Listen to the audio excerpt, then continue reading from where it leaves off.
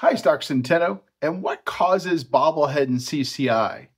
Now, realize that your head is basically a bowling ball at the end of a stick, and it requires two things to be stable. One is obviously ligaments, and the other is muscles. So, if you've got loose upper cervical ligaments, that can cause a bobblehead feeling.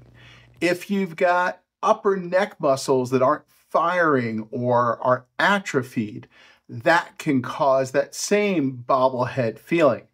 Now, what do you do about that? Obviously, if it's ligaments, you've got to get those ligaments tightened down, preferably through injection, but that could be through surgery if it's very severe. Or if it's muscles, you've got to get those muscles stronger. Now, problem is, the goal would be to strengthen those muscles without doing anything else. And everyone should try to do that.